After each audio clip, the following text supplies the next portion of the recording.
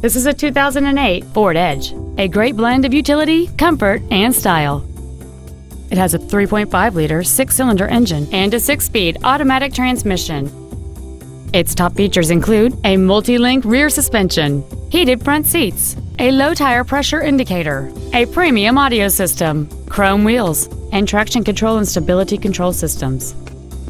The following features are also included memory settings for the seat's positions so you can recall your favorite alignment with the push of one button, air conditioning with automatic climate control, cruise control, a CD player, leather seats, a rear spoiler, an illuminated driver's side vanity mirror, halogen headlights, steering wheel mounted controls, and an anti theft protection system.